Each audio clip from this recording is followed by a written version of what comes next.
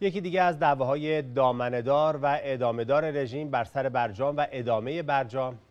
و اگر بخوایم عمیق‌تر ببینیم دعوا بر سر چگونگی رابطه با آمریکاست که این روزها می‌بینیم بیشتر بالا گرفته. گزیده ای از آخرین خبرهای مربوط به این جریان از نظرتون میگذره.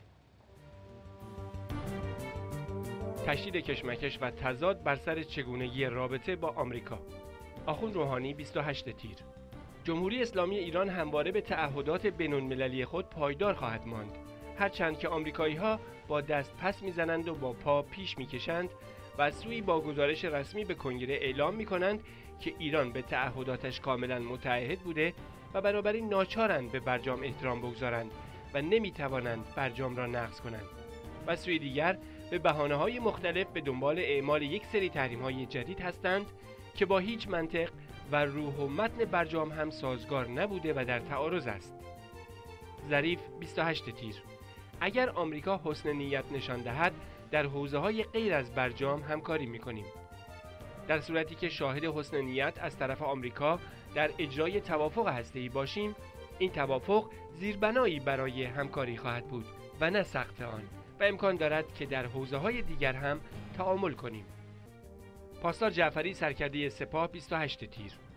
اکنون مردم ما خود را برای تداوم ایستادگی در برابر فشارهای اقتصادی که آمریکا چند سالی است علیه ما آغاز کرده آماده کرده و به فریبکاری های دشمن در قالب توافق برجام به خوبی پی بردند و نقض آشکار آن را در قالب تحریم های جدید S-722 علیه توان دفاعی و موشکی سپاه به وضوح مشاهده می کنند و بیصبرانه در انتظار موضعگیری مقتدرانه مسئولین سیاست خارجی کشور هستند. پاسدار غیب پرور سرکرده بسیج 28 تیر.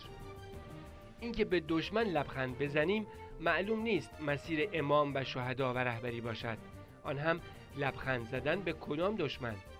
دروغ است بگوییم در یک جایی به توافق می رسیم آشتی می کنیم و دست می دهیم دشمن دشمن قسم خورده است که به کمترین چیزی که راضی می شود این است که انقلاب نباشد.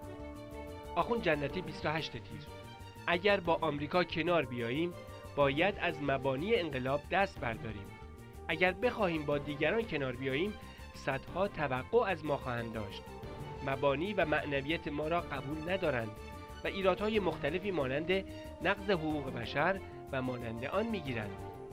اگر بخواهیم با آنان کنار بیاییم آیا حاضریم مبانی انقلابمان را کنار بگذاریم که مثلا مشکلات اقتصادی را حل و فصل کنیم؟